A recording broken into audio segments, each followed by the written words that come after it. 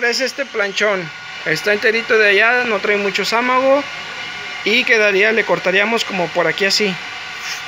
Esta abertura que tú ves ahí, yo le voy a poner un, un arreglo, un moño o un pedazo de solera para que no se te abra.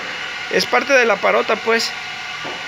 Porque está otras, estas otras piezas más angostas tienen mucho sámago y es lo que me dices que no te gusta.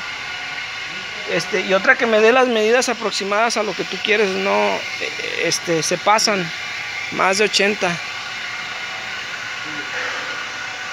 ¿Verdad? O no sé si si te sirve, si, si le metemos un poquito más ancho, como esta que tiene 1.28, le podemos cortar aquí así.